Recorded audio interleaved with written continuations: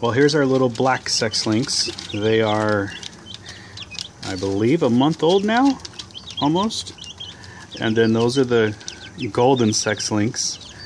And those are the orphans that we picked up. Their names are going to be Annie and Olive.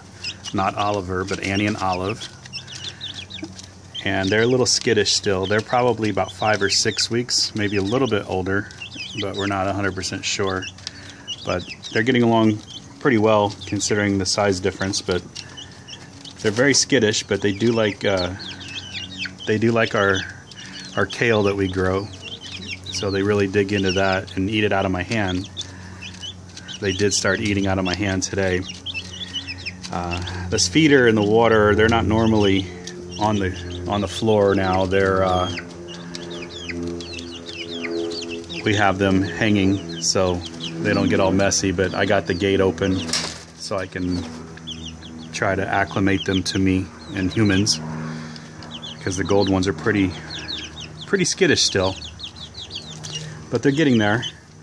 Then we got a little roost bar that they uh, sleep on.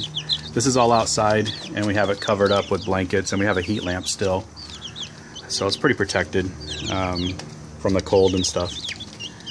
But anyway, these will be going in with our other chickens that we have in a couple of more months, and then we'll be getting a lot of eggs a day. Right now, we get about five or six from our six chicks, chickens, uh, and those are red sex links.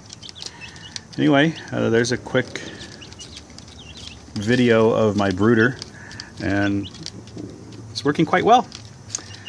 I will see you again soon. This is James with Organic Gringo signing off.